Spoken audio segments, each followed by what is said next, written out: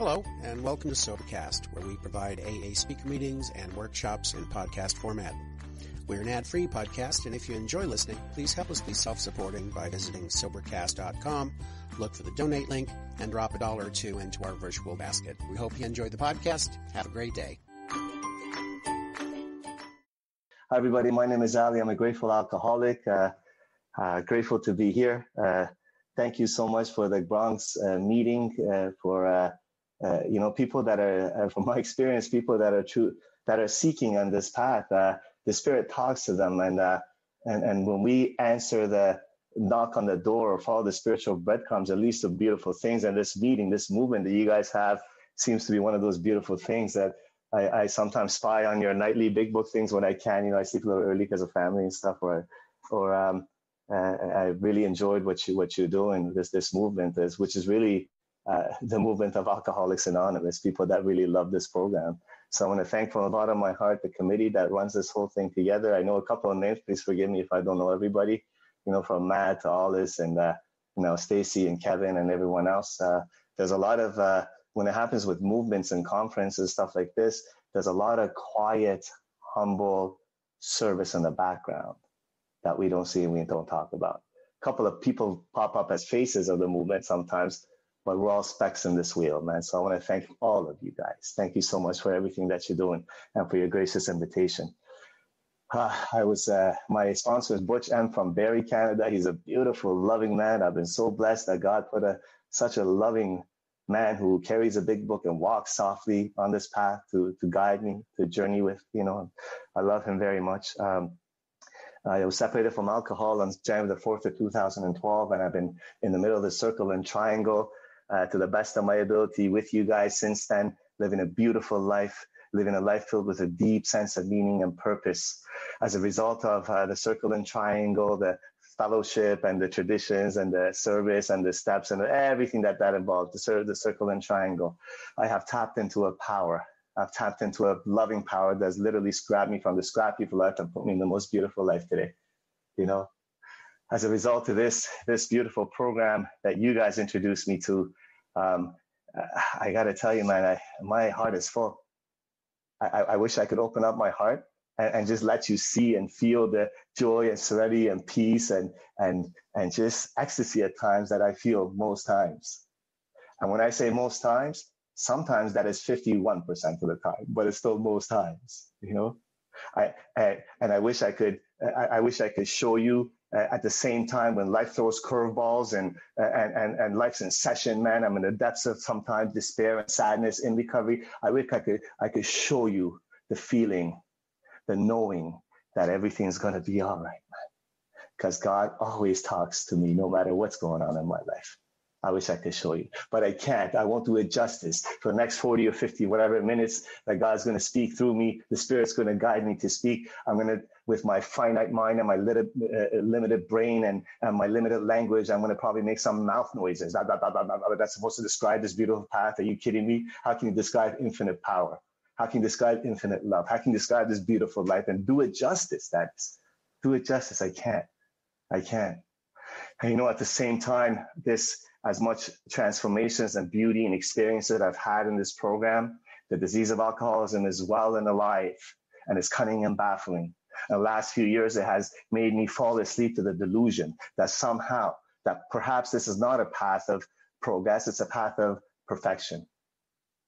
Has made me fall asleep to the delusion that this is a path of perfection and looking good and the image to uphold in AA and the meetings that you speak at, a number of sponsees that you have, and everyone should do it this way and not it's your way. And whew, that was a painful little time, period of time. You know, but it's not. See, the truth is that I'm not here to teach anybody anything. If, if ever my my energy is like that, please forgive me. That's just my enthusiasm for the program. I am I am perfectly I I am very present to the fact that I'm just a speck among specks, that I don't know anything, that I'm not here to represent Alcoholics Anonymous or teach anything to anybody. I'm here to share with you my brokenness. That's it. I'm here to share with you the wounds and the armor, the gash and the, in the psyche and the emotions and the spirit, because that is where God shines through. From my experience, God carries his water in broken pots. That's where God shines through. That's where we get to be useful to each other. That's where that's that that's how I have grown immensely because of your generosity. You telling me that Ali, I was brokenhearted like that too. But look at what spiritual principles have done, have carried me through it.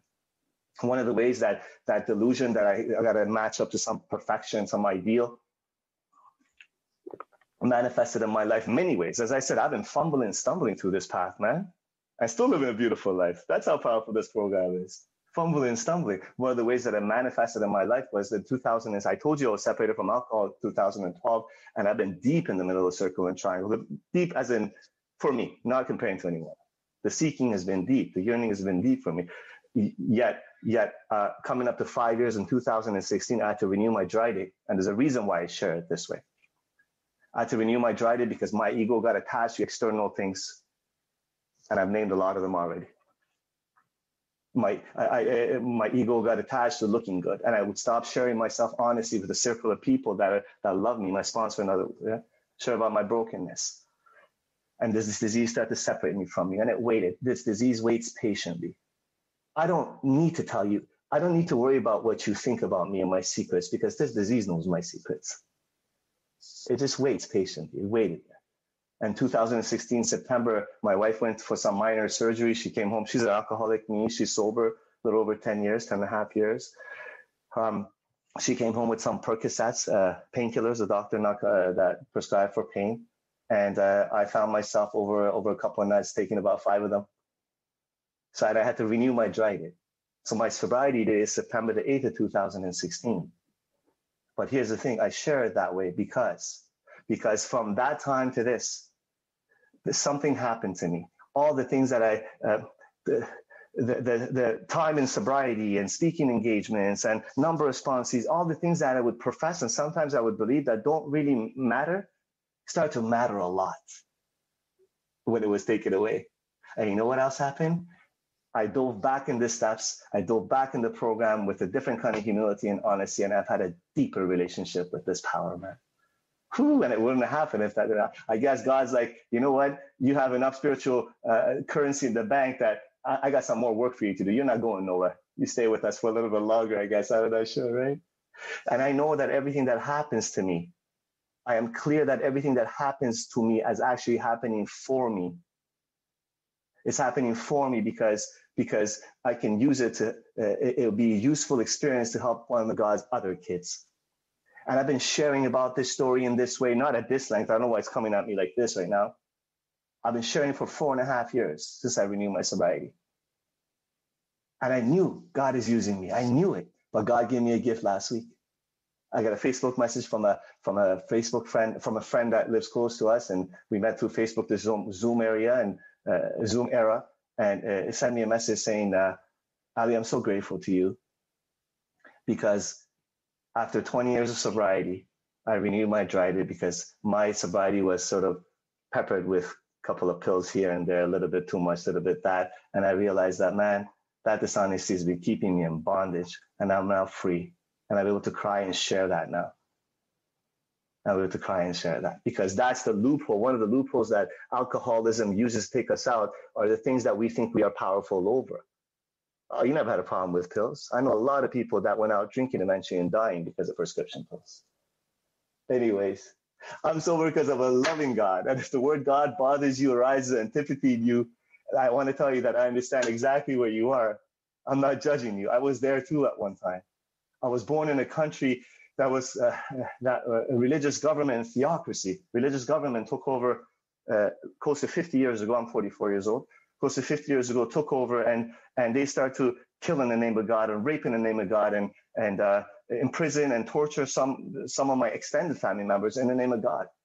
So that's partially the idea of God that I brought for you guys to deal with in these rooms. So I understand if you have an antipathy towards the word God. But let me tell you, the actual word God doesn't mean a single thing for me. Just the word. What I'm seeking is the power behind the word because I'm powerless to stay sober. I'm powerless to live a sane and sound life. I can't do it on my own, man. I need a power. I need a power. And I'm so grateful for the old timers, for the long timers, some of whom are in this call. I admire you. I cherish you. You're the voice of AA. You're the leaders in AA. The traditions tell me. So God speaks through you to me. because I wasn't one of those souls to get it right away. I was in and out of the program for about seven years, dying in this disease. And it was your light, it was your handshakes and your smiles and your kindness that that was like a ray of hope for me in that in that despair. In those suicide attempts, it was you. It's gonna be okay, kid. Keep coming back. See, you showed me what it is to walk this path what it is to actually walk these 12 steps as a way of life rather than assignments. You showed me. Because one of those times when I've, uh, I think one of those times when I was in, just newly introduced to AA, uh, I, once again, this disease has taken me to many suicide attempts. It's the suicide thought came because I can't stay sober. I spent all my loan money, student loan money, uh, and uh, I, I, didn't have any food in the fridge. I was renting a little room in a student co-op wanting to kill myself with a bottle of pills, bottle of vodka there. I, I gazed at the small little meeting book on, on the dresser. I opened it and I ran to a meeting. It was raining, it was pouring. I ran to the meeting. I was crying, man. I was like, I, why do I keep doing this? And I sat in the meeting and I don't remember what kind of meeting it was, but it must have been some kind of discussion involved because I shared what I just shared with you that I have no food in the fridge, I have no rent money, I don't, I want to kill myself. I don't, I don't understand this. And it was you, beautiful, awakened old timers that sat beside me, put your hands around me. And at that time, were awakened enough that you knew that I wasn't going to get any talk of a serious talk about God or in that discussion of a fourth step. You took me grocery shopping. You helped me carry the bags to my fridge. You taught me and you still teach me. And I love you and you're not thanked enough by Alcoholics Anonymous. Thank you so much for being here. I love the old timers, man. So what the old timers would do, getting back to the God idea, what the old timers would do is I, w- I would come to them and just, just arguing about their God and the 12 steps. And I'm dying in this disease. I can't stay sober. And I'm coming here arguing with people that are sober. Insane, right? So they wouldn't miss a beat. They wouldn't put me down. They wouldn't judge me. Hey, Ali, come on, have a seat, man. Take it easy. Why don't you come up with your own conception of God? Why don't you come up with your own conception of God? So I'm begging you. I'm going to use the word God a lot more in this spiritual conversation. If it's bothering you, please come up with your own conception of God, whether it's the soul of a loved one that's passed on or spirit of the universe,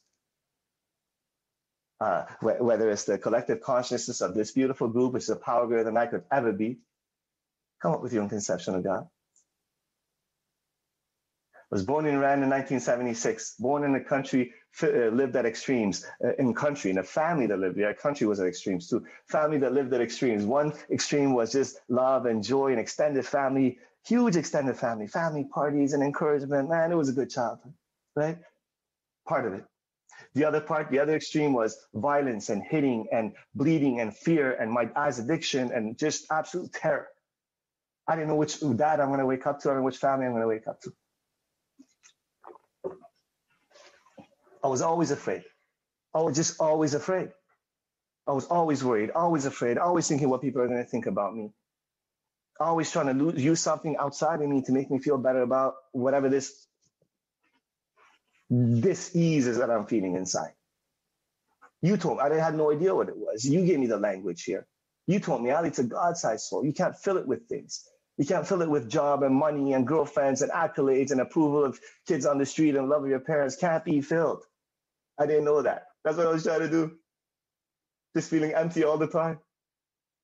After after I achieve whatever it is I think will make me feel better about me and this life, for I, it would last for a short period of time, and then I'm still feeling empty. I'm still chasing the next thing. I didn't know about the spiritual malady. In 1986, Iran and Iraq at that time, they were in war for about five years with each other. In 86, they started to bomb each other's capital cities. The first five years, it was border cities that they were fighting. The war was around. They, the first set of bombings, first few sets of bombings, uh, few of them landed within kilometers of our house in Tehran, capital city of Iran, where we lived. And I remember with every bombing that was fairly close, like kilometers from the house, what happens is that the house shakes, like it's like an earthquake and the windows would break and, and, and the sirens would go off. And I guess my sister and I were too naive as kids to really uh, understand the gravity of the situation that we could at any minute die. But my mom wasn't. She, she was old enough and she, you know, she was, she was afraid, crippled by fear. She ended up in a mental hospital for a month. And my father just locked up the house. Nobody would trade in real estate at that time. Gathered all the money that he could. We're a middle class family. We're doing fine. And but for the grace of a loving God, within three or four months of uh, deciding, we, we landed in Canada. There's a lot of families that I know of, my wife included, when they were kids and they led that leave through mountains. It took them months and years, years, I mean. For us, within four months, loving God, we landed in this beautiful country at the age of 10. I'm a proud Canadian Iranian. We landed in this beautiful country filled with, filled with kind, loving, open-minded people and, and freedom of religion and freedom of speech and opportunity. And, and you would think, a normal person, you would think that I would start to live a good life then, and that I would start to be okay then. But that wasn't the case for me. See, what happened was that my father's addiction and all the chaos that accompanies that followed us here. However, more pertinent to my story, more relevant to who I am as an alcoholic, my diseased, sick brain followed me here. I haven't had a drink yet. I'm not an alcoholic. I have to have had one and have a problem with it to be an alcoholic. But at that time, I guess the best way to describe it, my pre-drink brain filled with the isms of alcoholism followed me here. And, it, and this brain continued to cherry pick evidence in my life why I'm not enough, why I'm not okay. See, the kids on the street make fun of you. You look different than them. They beat you up. You're not enough. You're never going to amount to nothing. You don't speak a word of English. You can't understand them. You're not enough. Your father is an addict. He beats you. You're not enough. Insane how this disease always wants me to look at the outside for, for how I am on the inside. Frightening it is. See, because I used to blame my alcoholism on the on the outside on my upbringing. Listen, everyone's experience is different. All I'm saying is that from the evidence that I have in my life, I don't believe that anymore. Not that trauma as a kid doesn't, of course it does. I, in fact, I don't know a human being that's not broken to some degree, especially uh, when someone that faces trauma as a child, you become wounded. But see, my younger sister, who's five years younger than me, she pretty much experienced the same chaos and trauma as I did. Not an alcoholic, not an addict. And she's tried drinking, cocaine, everything under the sun she's experimented with. Not an alcoholic, not an addict. When the when the substance started to hurt her life, she put it away. And she she got her solution from psychiatrists and therapists and motivational speakers and motivational books and ashrams and meditate. Ooh, she's an amazing human being. I don't have to tell you how many uh, psychiatrists and therapists I've been to. You know, and then I would come into these rooms and I would meet you beautiful people with your generosity. You would sit me down, some of you, and you would tell me about your perfect lives growing up. You would tell me about your Leave It to Beaver lives growing up. You would tell me about your uh, about your uh, ski trips and uh, and parents that didn't drink and nobody hit anybody. That was a surprise to me, by the way. People don't hit each other at home. that was a surprise for me. They don't. They're not supposed to hit each other in general. Nobody hit anybody, and they was happy. And what you shared with me is that Ali, despite my what you would think perfect upbringing, I still never felt like I fit. And when I drank, it treated that. Oh, inside job. Inside job. My recovery in my life is independent of my external. It is dependent on the relationship with God. Oh, inside job. I got you. I'm an alcoholic because I like the effect produced by alcohol. It fills that God's high soul to such a degree that I chase it to the gates of insanity and death. And I did that for 10 years after it stopped working for me. I would drink, my body would be drunk, my mind still racing. It stopped working for me. I would drink, my body would be drunk, uh, I'm full of fear still. And I still want to kill myself. It used to treat that. What happened? That's what it looks like, if you're wondering. For 10 years, putting my hand on a hot stove. Ow, ow, ow. It'll be different this time. Hold on, I'll show you. Ow, ow. Insane. Insane. I started to drink at the age of 16. And in hindsight, I, I, see that not everyone felt like I thought they felt. I thought they felt like me when, I, when they drank. I felt like I fit in my own skin. The world made sense. I had my I had my first spiritual experience with my First time I got drunk. And my world was huge with potential. Everyone kept on saying, he has potential, so much potential. Uh, pre pre med uh, at that time they called it pre med. Now general sciences. Pre med in university and uh, possible uh, Olympic karting game trials for the Canadian karting game. Not the actual Olympic team. It's a karting game. It's a process you have to go through, right? And for, for a sport I was involved in heavily, Ali has potential. At the end of my drinking, all this world of potential was this small in a grungy motel room in Southeast Scarborough, that's Southeast Toronto, with a needle in my arm, with needles in my arm and a bottle of vodka and all that ugly extracurricular activity that follows that kind of lifestyle. Wanted to die every moment of the day and didn't know how not to. Whew, that's so painful, man. You know? And I wasn't planning to do that. I suffered from when I first started to drink. I wasn't planning to go there. I suffered from a terrifying illness every part of it like boggles my mind how it, I learned about in doctor's opinion the allergy of the body in which my body reacts differently than 95% of the people out there to the consumption of alcohol. When I drink, the craving starts then. The craving doesn't start when I'm sober. That's a normal person's way of talking about craving. When I drink, something intensifies, a fire that starts to burn ferociously, where it just takes my mind and my body conspire to kill me where I have to go, go, go, go, go. I keep going until bank accounts are done. I, I quit my, I got fired from my job. Relationships are dead. My mom's heart's broken and I don't see her tears. Like I see them, but I don't get it. I don't see them. I remember one time she was holding on to my leg. We were living in a condo apartment. She, she knew that I started to drink and the drink was on me, right? And I had to go. And she knew and the poor thing, she was holding onto my leg on the ground, begging me not to go. And I just shook her off and I kicked her and I left. I see, but I don't see. Selfish, self centered, conceited, arrogant, inconsiderate, active alcoholic that I was. Don't see? Couple that physical allergy with a mental twist, mental blank spot, they call it, so cunning and baffling and terrifying that I can't trust my brain. I can't trust the organ in my body that's supposed to categorize situations and, and tell me not to do that. Don't go there. Don't drink that. It's not safe. Look, look, 10 years of your life, every time you drank, you you killed something, destroyed something in your life. Don't do that. It's got a virus in it. Left to my own devices, I will always drink. A drink is always an option left to my own power. Step one doesn't say I can't drink. It says I will drink on my own power. Guaranteed. I'm powerless. I'm powerless. As I said earlier, this disease took me to a few suicide attempts.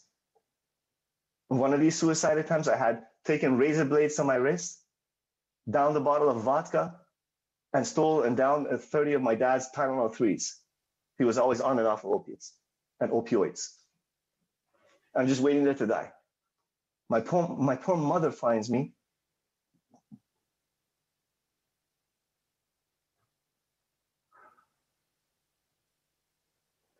That's okay.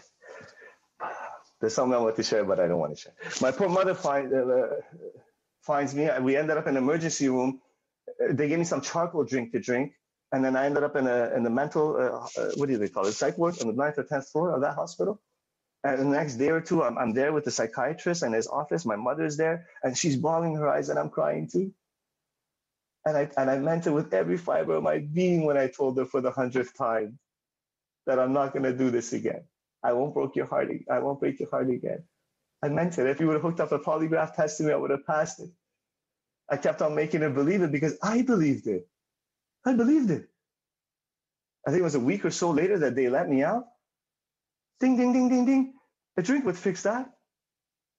You were just going through a phase. That suicide attempt was just a phase. That's what it tells me, and I believe it. You just needed the right girlfriend, the right relationship. That's what that was your problem cunning, baffling, and powerful. Meanwhile, I'm dying in this. Uh, Bill Wilson taught many beautiful descriptions of the spiritual malady in our book, but the one that always jumps at me, one of them is is uh, what do you say?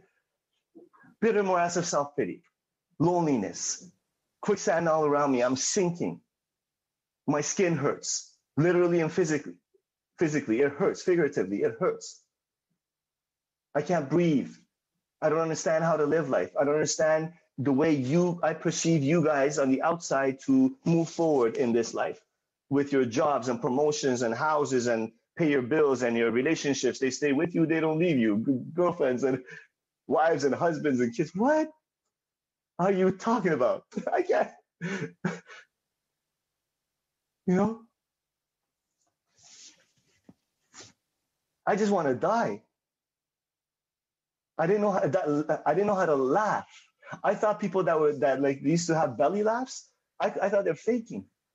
I think that was possible. It was so dark for me for so many years. And as God in his infinite mercy has always had angels around me, his other kids around me to give me messages. Always. I just never been awake. But the first time that I remember really being awake was in 2006 when I got 12 step. Beautiful gentleman. Oh, what a man of God he is. What a humble walk he has, Saeed. He, he 12 stepped me, introduced me to the uh, rooms of Alcoholics Anonymous, and I fell in love with you guys, with the camaraderie and the joyousness and, uh, and, and the fact that you guys thought like me and you would express those thoughts without shame. and you felt like me and you would express those feelings without shame. And you drank like me. And he never judged me. And he kept on telling me, keep coming back. I felt like I found my tribe. I felt like we chewed the same dirt. And I was happy and really ecstatic in the program for five or six months that I found a, group of people that are like me. And there's a there's a category for what I have. It's an actual illness and some of them some, they seem to be happy and sober some of them and after about five or six months i think i guess the, the disease woke up in my head and started to focus and magnify the tragedy of my life and all the things that i've wasted and all the things that i don't have. I didn't have a solution. So without a solution obviously the disease says hey a drink would fix that. Come on. For years i was in and out of this program dying dying. Thinking that I'm doing what you're telling me, thinking that I'm doing what you're telling me. I went to your 90 and 90 and 100 and 100 meetings, whatever it is. I set up your coffee pots and, and, and set up your chairs and shook hands at your, the front of the rooms, went for coffee before and after, fellowship. I did all of that and I kept on drinking and dying in the rooms of Alcoholics Anonymous. And I was confused and I was angry and I was depressed. And I was asleep to the fact that the reason I'm like that is because I wanted something for nothing. I think in pictures sometimes, and analogies help me dumb things down for me. And I've always been in sports. So one analogy that really helps me get present to what I was doing is if I imagine if I want to get into physical shape and I go to a gym and I make a plan to go to this gym 90 times in 90 days and clean the machines and shake hands with people and when I'm at this gym 90 times in 90 days, talk to the people that have amazing physiques and get inspired by the stories and what they do. And then instead of working out, I come back home 90 times in nine. That's what I did in Alcoholics Anonymous.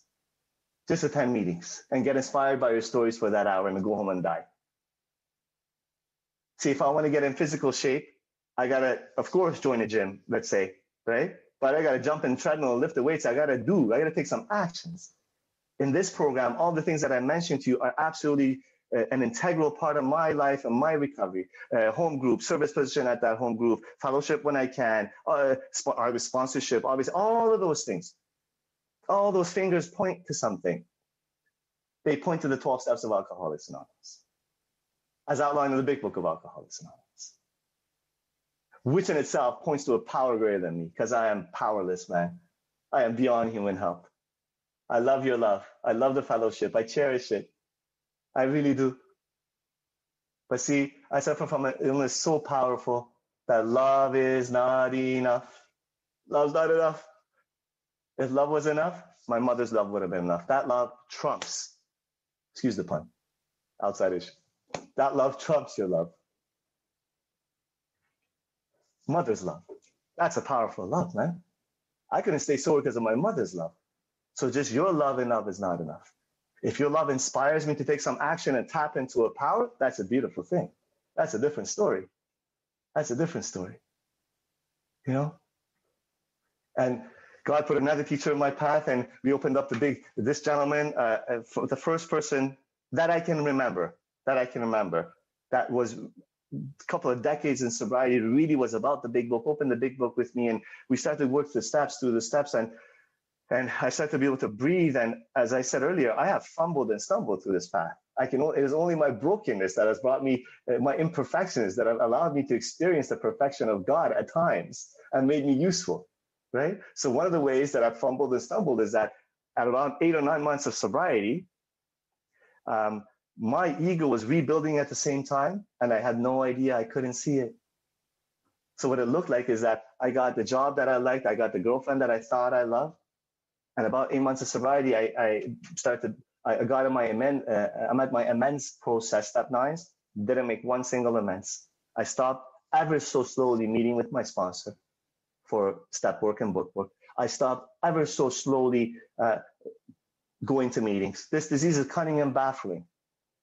Slowly, you know, like have you, I've been on vacation before on the beach, and then you, you, you know, I was sitting on a tube and just right in front of the, by the shore. And I just sort of started to daydream. And then all of a sudden I'm looking around, I'm like, oh my God, I'm so far away. I'm like right in the middle of the sea, man. That's how this disease took me. Ever so slowly. All of a sudden, I'm away from you guys. I haven't gone to a meeting in a long time. Life is perfect though. I'm feeling good. I have what the ego wants. I feel like my version of uh, Fred Eh, more about alcoholism, not a cloud in the horizon. And then the drink called me. Hey, you've been good for like eight months. You live in a beautiful life. I think it's okay for you to go watch the fights with the guys and have a couple of pints. One drink. That's all I wanted. One drink. Three years. My plan was to have one drink. Three years some of the worst pain and despair and depression, a couple of suicide attempts in those three years. And let me tell you from experience, it is a different kind of bewilderment and pain and depression. When you have tasted at least a little bit of the solution and you have a head full of AA and you think you know, and, and you think you know what it is and where where, the, where the solution is, but your feet won't take you there. My feet wouldn't take me there. That's a different kind of pain. That's a different kind of pain and my last drunk wasn't as bad as the 50 before. I was renting a room in a in a men's recovery house. I had gone out drinking for the night. I was sober for four months without any step work. Went out drinking for the night. Came snuck back in because I didn't want to get I didn't want to get kicked out. And I found myself in a state of tremendous pain, physical, body hurt, spiritual, mental, emotional, minds racing. I just want to crawl out on my own skin. And I just want to drink. I just want to end my life once again. And I had a profound spiritual experience. Profound. Profound in the depths of pain. Something folded my knees. My friend Jane just talked, and I listened to her talk. What a beautiful talk that was. She says, I have heard God referred to as something so many times in these rooms. something bent my knees. And I prayed like I've never prayed before from the bottom of my soul. Like I really prayed. I said something like, God, whatever you are, wherever you are, can you just please help me not be like this anymore? I just don't want to be like this anymore.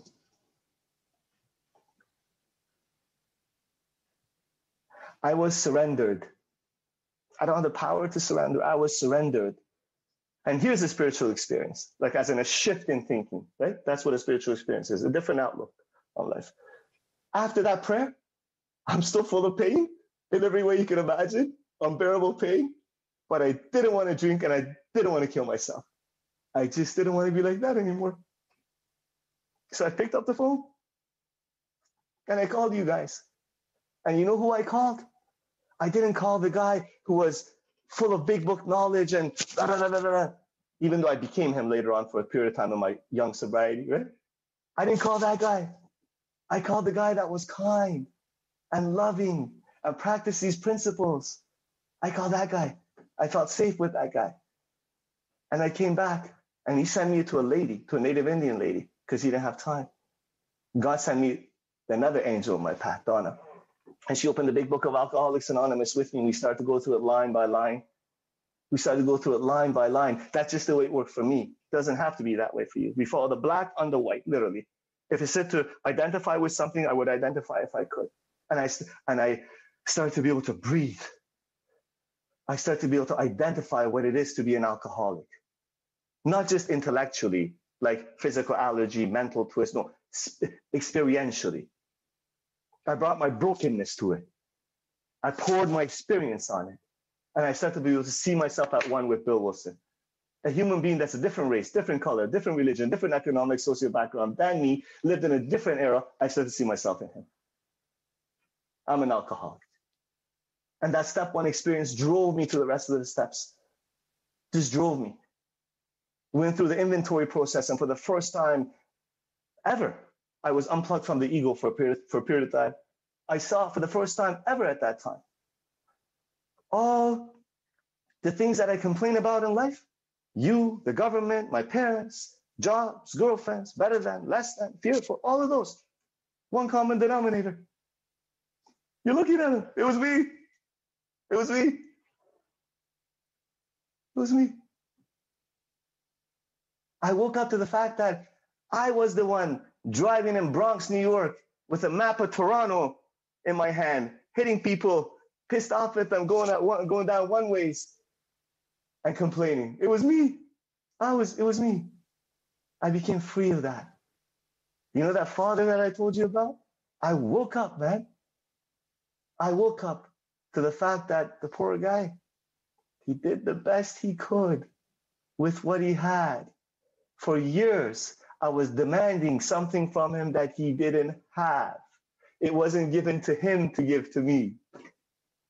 And he suffered from the same disease that I'm suffering from without a solution. And my, my eyes opened up spiritually and I saw all the things that he did do with what he had. We never went hungry. We never went without. Always had my back financially. Always on my back in any way that he could picked us up like lion cubs in the middle of a war. Left his home and everything that was dear to him. Can you imagine that? Imagine that. Four years old, two kids and a wife. You move to a country which you don't know anything about. You look different than most of the people there. You don't speak a word of English. Can you imagine that? The fear that his addicted mind was pushed through that so I can have a better life today. I saw that. Whew. And then I saw what kind of son I was. I got to see that, the terror I caused, the self-righteousness and the judgment, the yelling and the stealing, the demeaning, the blaming at the age of 35 for all the failures of my life or what that poor guy had no control over. I saw that. And then the man told me later on I became free and so This program is about freedom, man. Not not relief. it's about freedom. And I had a powerful step six and seven experience. My first round of the steps. My first round of the steps. Powerful. And this, if that hasn't been your experience, that's okay too. Because the big book is clear. Sometimes quickly, sometimes slowly, but it always materializes if we work for them. Always does. And with the, my step one experience was so close to me, the experience of it, the gift of desperation, gift, that's what that is. We went through the amends process in a fairly quick period of time, as in I made all the amends that I could, all the approaches that I could at that time. And with every single amends, I got a piece of my soul back. My alcoholic thinking, Bill Wilson talks about in, in, in the in the hospital room with Ebby when he got sober for the last time. He talks about uh, uh, uncommon sense becomes uh, became common sense, or common sense became something like that. Uncommon sense, right? My common sense is I would get self-esteem by doing for me, going to the gym, dressing nicely, getting a nice job, nice car, nice girlfriend. Then I'll feel okay. And you know why I'll feel that way? Because you would tell me that I'm okay. Always dependent on you and your approval. That's what my common sense would. I learned in the amends process, especially, especially in the amends process. Uh, oh man, my self-esteem, my confidence has come from trying to heal the wounds that I caused his other kids, trying to make amends, setting right the wrongs. And I watched as I made financial amends, even a little bit at a time. I watched how financial abundance either came in my life or if it didn't, I stopped being so afraid of it not being there. I watched it happen. I watched as I continue to make amends with the people that I've harmed. I watched love come in my life in the most impossible situations and scenarios. I watched it. I watched it, man. And I start to I start to work with the disciplines of 10 11, you know. I used to think, you know, step 10 has such a beautiful promise. The first promise they throw out at you is you have entered the world of the spirit. On page, what is it? 84, 85? Uh, you, you enter the world of the spirit. Enter the world, and I have a function. My next function is to grow in understanding and effectiveness, in understanding and effectiveness of the realm of the spirit, in understanding effectiveness of, of being a servant, how I can serve God's other kids, and understanding and effectiveness. You know? And I used to think, and then it started to make sense in step 10 when it was taught to me, when I started to practice with the beautiful practice of step 10 throughout the day. I started to realize what those old timers were talking about when they were saying, I stay sober one day at a time. I got what they were saying because I was frustrated for years. And I would say, What do you mean? I can't, like, I would, that, that statement would just, oh man, because I couldn't stay sober one minute, one hour. How do you do it one day? Then I understood. What they were saying is that we live this program to the best of our ability and develop a relationship with this power one day at a time. God takes care of the rest of that stuff, the sobriety and all that kind of stuff. It's God's deal, man. I got it. And I started to sponsor early on in sobriety. If this hasn't been your experience, uh, that's okay. I'm not saying you should or everybody should. No, I'm saying this is my experience. At three and a half, four months of sobriety, I'm sponsoring people. I'm taking people through the steps as outlined in the big book of Alcoholics Anonymous. And, and I, I was scared when my elders and my sponsor and my, uh, around me said, that's what you got to do. I was scared. I guess they, they, because they knew me six and a half, seven years in another program dying, you know, they must have thought this kid is really, this disease really has him. He's so into self, he better start passing it out or else he's going to die. So they encouraged me to do that. They fanned that flame that was, that was, uh, that was started inside of me. They fanned it. They encouraged it. And when I would argue with them and say, no, um, I'm scared. What do I have to offer? They would remind me very sternly, very kindly, and sternly sometimes. That's interesting, Ali, because if everybody, if Bill Wilson and Dr. Bob had some rule that they, they wrote in stone that you must have one year before starting to sponsor, they would be dead. We would be dead. There's no Alcoholics Anonymous. You'd probably be drunk by now. They said it's none of your business when, how, and to whom you pass this message on. When you're at step 12 and you are there now, you pray. Let God take care of the rest. So I would pray. In the mornings, I would pray, God, would you, if you see fit, would you please know, put a sponsor in my path because I don't want to drink and die. Thank you, God. Something like that, you know? God, in His infinite mercy, had me, uh, um, the Spirit had me uh, chair a meeting in, in a men's shelter in downtown Toronto, where these men were broken and they were sharing from that brokenness. And I would, the format, I made it up. I would open the big book and read three pages from the big book, and they would share. And then I would share about how I was exactly like them four months ago. And I'm not. I don't want to kill myself. I'm sober four or five months ago. And I guess, I guess they start to trust that how tangible four or five months is more than 20 years. I don't know. Because they would come up to me after after the meeting and say, hey, can you just help us do whatever happened to you? Um, sure, I can. I'll take you through the big book. And that's what I did. That's what my sponsorship would look like. And I would forget and I would make mistakes. I would call my elders. How did that go again? What was that column on? I have no idea if any of those first set of men that were gifted to me, if any of them were sober. But I know that I'm sober. I stayed sober. I stayed sober. We're all, we're all, what we're doing is there's another spiritual teacher talks about uh, at the best of times, at our best, we're walking each other home. That's what we're doing. All of us in Alcoholics Anonymous, what we're doing, we're, we're just riding the waves of the language of love that was started 85 years ago. from one conversation of one alcoholic to another. That's what we're doing. Language of love. And you know, this program, this language of love, that we feel the ripple effects of it all over through our communities and our lives and our kids and parents. It didn't start because Bill Wilson had an agenda to keep people sober, by the way. He tried that for the first six months. 90 something people by all the archives and letters. He tried to pull people off of bar stools. People didn't stay sober. He stayed sober, but the language of love didn't start. It started because he wanted to drink himself in the Mayflower Hotel, walking back and forth, spent all his money, his business deal went down to dumps. The drink called him. And then the spirit turned his gaze at the phone book. One thing led to another. Dr. Bob and him were supposed to meet for 50 minutes, hours. Language of love. So I stayed sober. I stayed sober. And I like to think that I'm a better sponsor these days because I have more life experience applying principles to life, you know.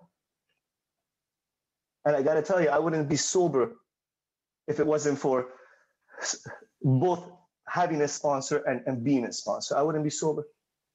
I wouldn't be sober because life has thrown curveballs, man, in the last few short years of sobriety. Life's in session. We've had deaths and cancers that we've dealt with in the family. We've had, uh, I've had depression on and off. Ever since I was a kid, I would get, get outside help, inside help, doctors, staffs, all that. Once in a while, they would grab a hold of me.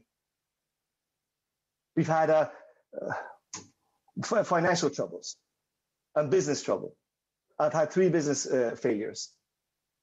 Couldn't get a job to support my family. I get one, but not enough to help support a family question what I am as a man, what I am as a father, what, what I am as a husband.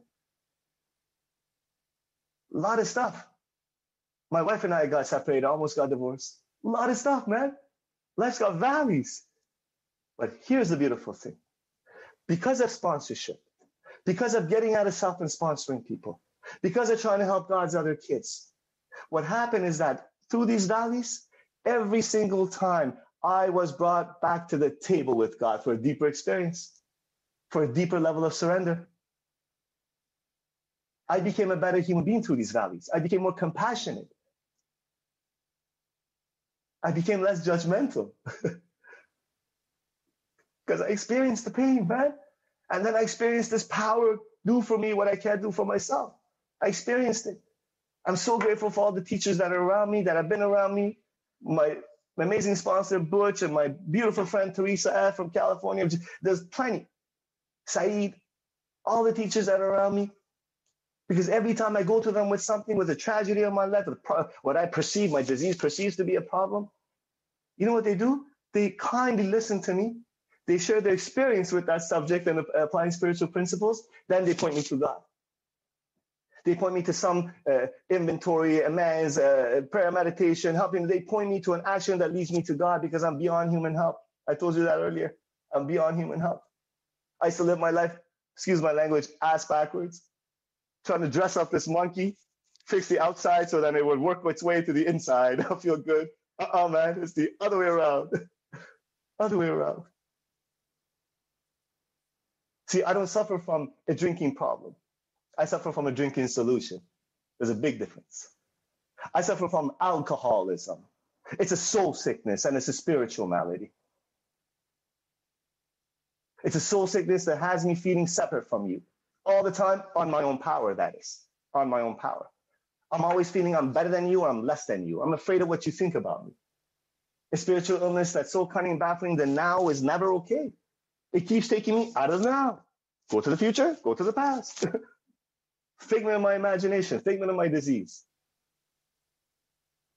And this, this spiritual malady that uh, lulls me to the sleep that I'm se- separate from you leads me to the biggest delusion of all that I am separate from this power.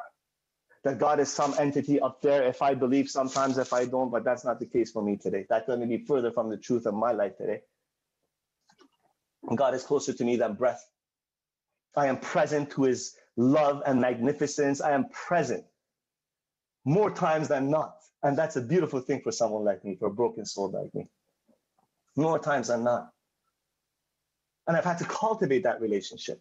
There was a period of time when I was sponsoring a lot of people and and and, and talking about the transformations in my life, which were true, and at the same time coming to these rooms and lying to you. A couple years in, on fire with this thing, but lying to you. The disease had me again. I didn't know it. Cunning, baffling, and powerful. And a teacher came in my path. What that looked like in my life is that transformation in certain areas of life, talking about it in meetings, not talking about brokenness, and what I looked like in my life is that if you would have followed me with one of those, you know, candid camera, hitting camera things, right? Those shows. If you would have followed me, some areas of life you would have said, this guy's still drinking. Look at the way he's behaving. Some areas of life. And a teacher came on my path, and I was asked to consider that perhaps what I profess to you at meetings is a lie, that the relationship with God is not the most important relationship in my life, as by the evidence of my actions. In that, any relationship that's important in my life, I give time to, including my wife. She would divorce me if I give her a one minute, quick little 30 second hello in the morning and 30 second hello, goodbye at night, like I did with God for a couple years in. And please don't, again, don't let me rock the boat. That's just my experience. If it works for you, it's beautiful. But it's been my experience and the experience of my elders that the, every humble 24 hours that I fumble sometimes in this path, I take a step forward, this broad and roomy, beautiful path, it just narrows, narrows in a few ways.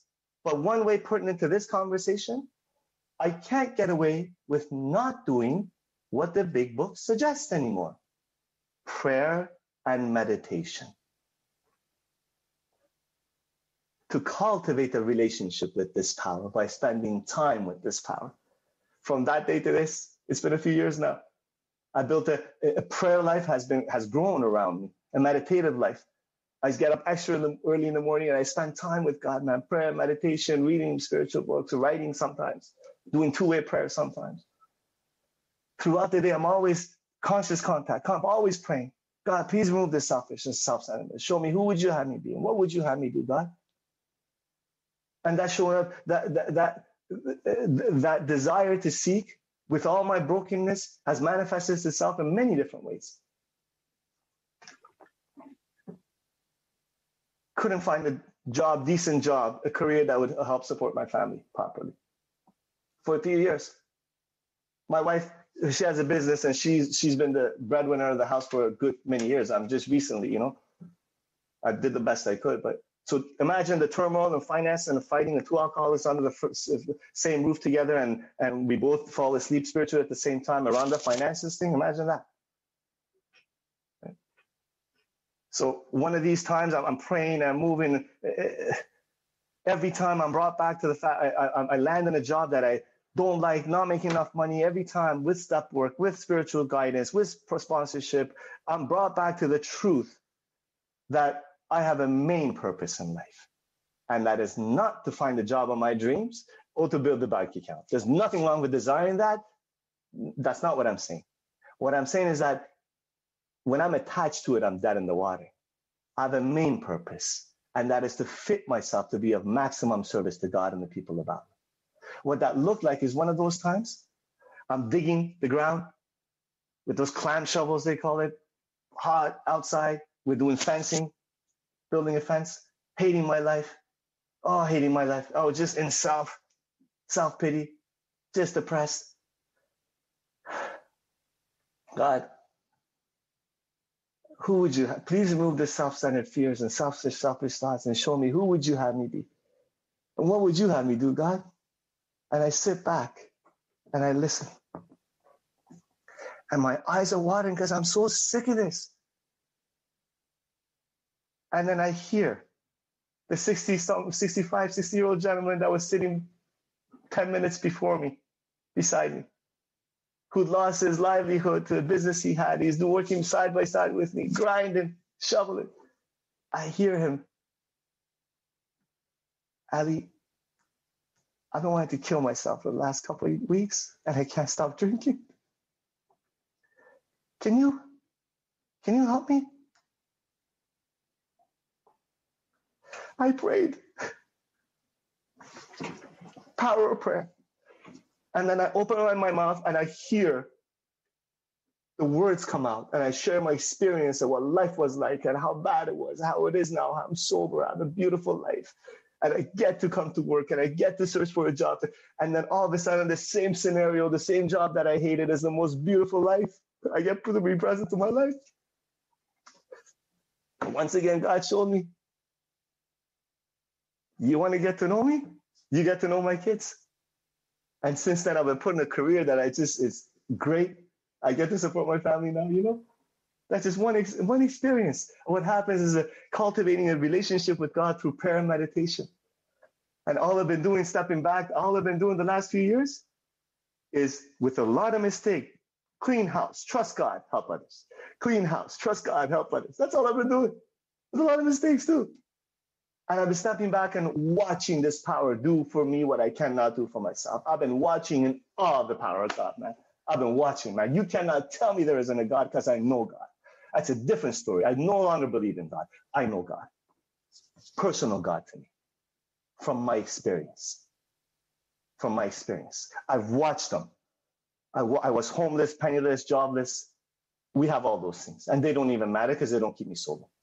I watched them as the priceless gifts of life. I, as I have a beautiful wife, we're coming up to eight years of marriage, and we went through some rocky times, but we're good, man. She's my best friend. She's a soldier, soldier of God. She is. You know, she's a beautiful human being. She does. She is. I watched as my last suicide attempt was 10, 10, 11 years ago, 12 years ago. Six years ago, God gave us a baby boy. Kevin, I saw you, brother, two minutes. I, I watched as God gave us a baby boy, and he's the best thing in my life. Talk about the manifestations of God and talk about source. I love him. I never knew that kind, this kind of love. I didn't know this kind of love existed until I experienced it. And I'm a good dad. I'm such a good dad, man. I play with him and I laugh with him and I tell him that he's handsome and he's he could be anything he wants. I teach him martial arts and we train and we jog together. He's five or six years old. We jog together, you know. I'm a good dad because of you, not because of me, because of you. If you're new, end with this. If you're new and if you're newly back, I want you to know that all those priceless stuff, they don't have the power to keep me sober either if I don't have a relationship with God, a current relationship with God. And I pray, I pray that you get the gift of desperation, you are able to just let go of everything that you think you know and get a sponsor and join the home group and dive in these steps in the middle circle and triangle and watch, watch God do for you what you cannot do for yourself and experience the God that I'm, we're talking about. But the most important thing is that in times of tough, toughness and difficulty in, the, in life, you will realize that there's more light in you than you know what to do with, and that's the light of God. God bless you. I love you. Thank you so much.